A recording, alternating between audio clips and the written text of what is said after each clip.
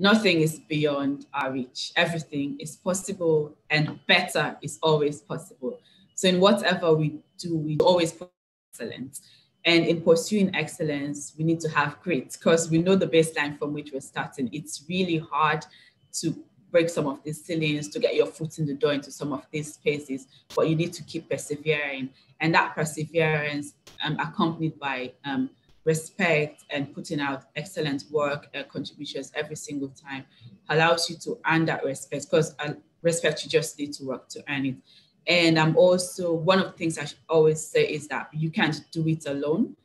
Together we're stronger and better. So in every point in time you should always consider how you bring other women and other people along especially young people because if we're working to drive change it's this our generation that should create that generation of change makers. So my key thing to women leaders is that we should keep working, do not give up, leverage our networks, reach out, continue and engage in continuous learning and make sure and, and self-belief because if you've told yourself that you can do it, there's nothing stopping you.